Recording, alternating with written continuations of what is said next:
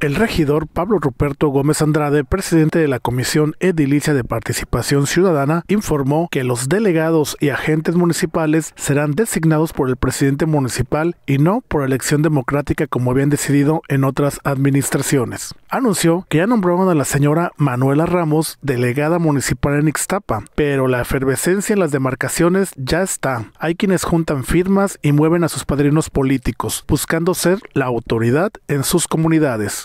De hecho, está plasmado en el reglamento de participación ciudadana que esta es una atribución directa del presidente.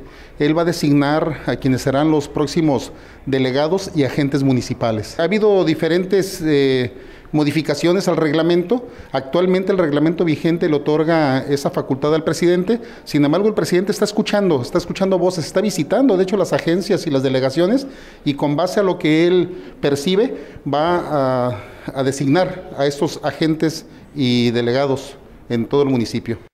El edil reiteró que el alcalde ha escuchado la ciudadanía de las cuatro delegaciones, Las Palmas, Ixtapa, Las Juntas y El Pitillal, y las 12 agencias municipales, y ya empezaron las designaciones.